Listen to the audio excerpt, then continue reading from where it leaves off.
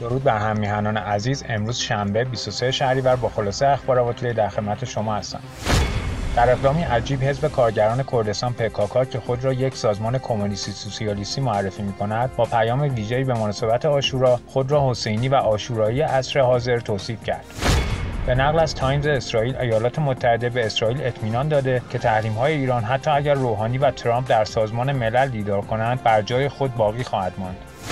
فاکس نیوز روز جمعه بر اساس اسنادی که توسط مقامات شورای امنیت ملی ایالات متحده بررسی شده گزارش داد که از مجموع 18 صندوق بازنشستگی موجود در ایران 17 صندوق از جمله صندوقهای بازنشستگی نیروهای مسلح ایران از لحاظ مالی ورشکسته هستند و در آستانه فروپاشی کامل قرار دارند.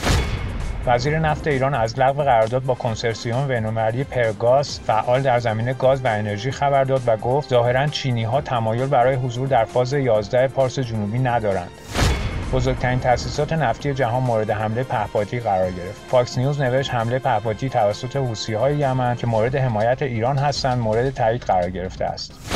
رسانه های استرالیا فاش کردند که کایلی مور گیلبرت نام یک زن دیگر استرالیایی است که از یک سال پیش در ایران بازداشت شده و محاکمه مخفیانه او در ایران نیز برگزار شده و به ده سال حبس محکوم شده و از آن زمان در انفرادی زندان اوین در حبس است.